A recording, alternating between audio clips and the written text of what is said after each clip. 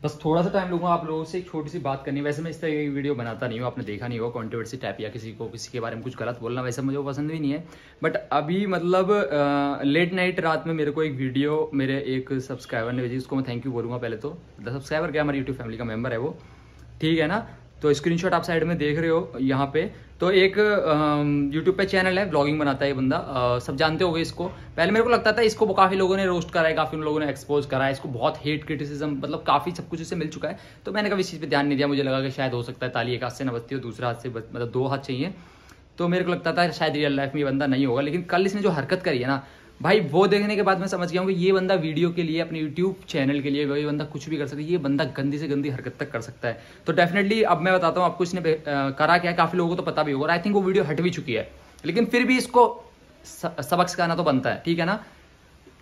तो इसने एक वीडियो बनाई थी साइड में स्क्रीनशॉट देखो फ्लाइंग डॉलर इसके डॉग का नाम है Dollar with hundred helium gas balloon मतलब ये अपने डॉग को आ, वो गुब्बारों से बाँध रहा है और उसको उड़ाने की कोशिश कर रहा है। आप थंबनेल में देख रहे होगे।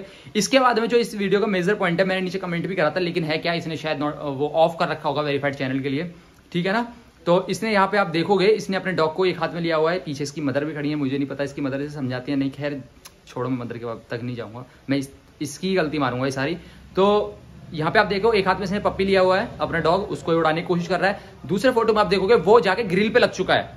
जो फ्लैट्स हैं, उनकी ग्रिल पे टच हो चुका है वो, ठीक है ना? और वो कम से कम आठ से दस फुट ऊपर होती है। एक घर का जो लेंटर होता है फ़र्स्ट फ्लोर का, वो लगभग दस से बारह फुट के बीच में होता है, ठीक है? उससे ऊपर जाएँगे, बल्कि ज़्यादा भी होता है, बहुत सुखा। तो उससे ऊपर जाएँगे तो ऑलमोस्ट वो first floor ground floor first floor पार करके सेकंड फ्लोर के लेंटर पे टच कर चुका है, ठीक है ना? ध्यान से देखो। जो तीसरी फ़ोटो है, इस पे वो ऑलमोस्ट सेकंड फ्लोर की ग्रिल पे टच कर रहे हैं।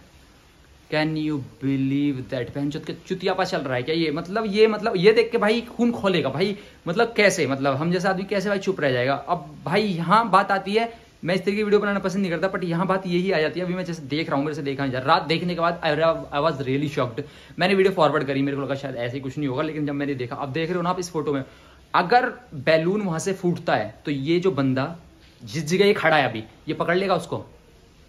ये पकड़ लेगा उसको? वो नीचे गिरेगा। अगर मैं बोल रहा हूँ, आप अपने आप को एज्यूम करो, अगर आप सेकंड फ्लोर की ग्रिल से नीचे गिरते हो वहाँ से तो आपको कितनी चोट आएगी? और वो तो एक पप्पी यार वो कितनी छोटी ब्रीड है, पता है ना? भाई, क्या चल रहा है यार ये यूट्यूब पे? भाई, अगर तू ये वीडियो देख रहा है ना, भाई, देख, तू कुछ भी कर, तू अपनी लाइफ में फेक वीडियोस बना फेक फेक एक्सपोज कर, किसी के साथ कंट्रोवर्सी कर do whatever you want to do but भाई, अपने डॉग के साथ सोच समझ के वीडियो बना, नहीं तो तेरी बैंड बच जाएगी। सोच समझ के वीडियो बना। मैं बहुत सीरियस नोट पर बोल रहा हूँ, ठीक है ना? ये तू बहुत गलत कर रहा है। तू इंसानों के साथ गलत करेगा तो बच जाएगा। अगर तू एनिमल्स के साथ गलत करेगा ना, खासकर डॉग्स के साथ, बच नहीं पाएगा। पहुंचाओ ये वीडियो उस तक छूट दिया